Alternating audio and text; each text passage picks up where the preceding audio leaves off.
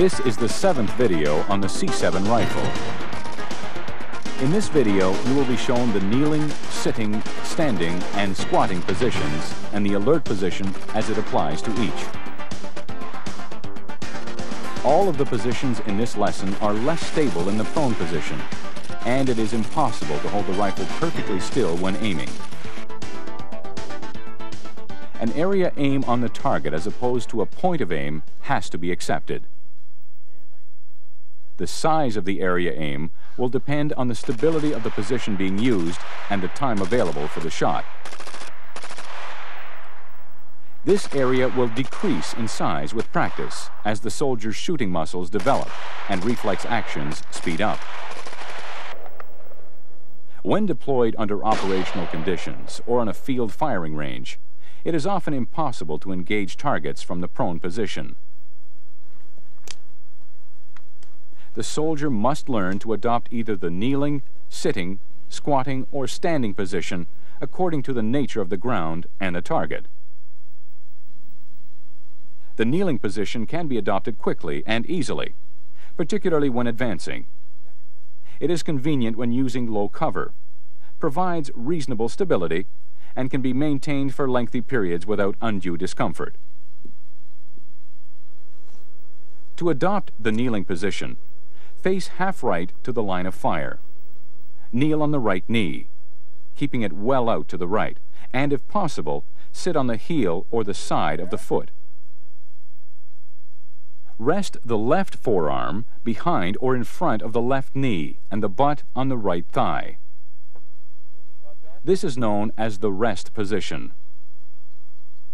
On a range being ordered, set the sight, cock the weapon, and put the selector lever on S. On the command watch and shoot, adopt the alert position. To do this, bring the butt into the shoulder and move the selector lever to R. The left foot is turned inwards to lock the lower part of the foot and reduce movement. The left knee is under the rifle and the butt is higher in the shoulder than in the prone position the weight of the body is taken over the right heel.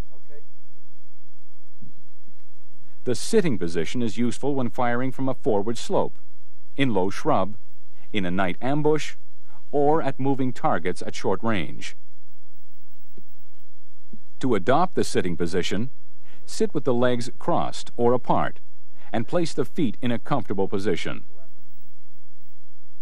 The rifle is held in the rest position as for kneeling. On a range being ordered, set the sight, cock the weapon, and put the selector lever on S. On the command watch and shoot, bring the butt into the shoulder and move the selector lever to R. Place the elbows in front of or on the inside of the knees. The standing position is used primarily when firing from behind high cover, in a trench, or during an advance to contact when targets are engaged quickly. To adopt the standing position, adopt the standing load position. On a range being ordered, set the sight, cock the weapon, and put the selector lever on S. On the command, watch and shoot, adopt the alert position. Bring the butt into the shoulder and move the selector lever to R, muzzle pointing forward and down. The handguard is held, and the body leans slightly forward in the direction of the target. The squatting position is useful for firing from mud, shallow water, and in open country where other firing positions may not easily be adopted.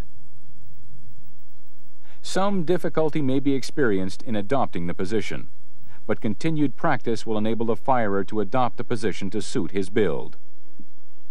To use the squatting position, Halt with the feet 100 to 400 millimeters apart and drop down onto the haunches into a natural squatting position.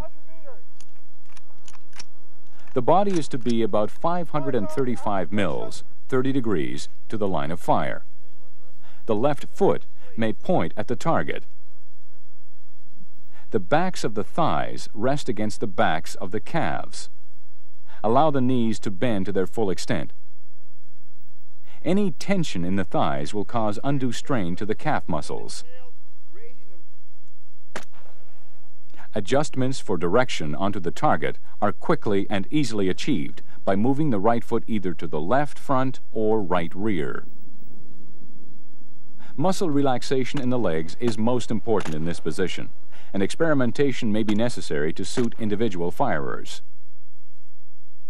Adjustment of the position could entail raising the right or both heels slightly from the ground, ensuring the weight is evenly distributed on the balls of the feet. Some firers may prefer the inside of the right foot to be flat on the ground. The sequence and drill for firing a shot are as taught for the prone position.